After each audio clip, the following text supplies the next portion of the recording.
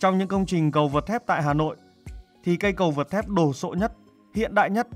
có lẽ phải kể đến cầu vượt thép tại nút giao thông trung tâm quận Long Biên. Cầu vượt thép lớn nhất Việt Nam hiện nay nằm tại nút giao thông trung tâm quận Long Biên, phía đông bắc thủ đô Hà Nội. Nút giao thông này trước đây là một ngã ba, người dân Hà Nội thường gọi nó bằng cái tên là ngã ba cầu chui. Vì ở đây có một cây cầu thép dành cho tàu hỏa bắc qua đường Nguyễn Văn cử thuộc tuyến đường sắt Hà Nội Hải Phòng.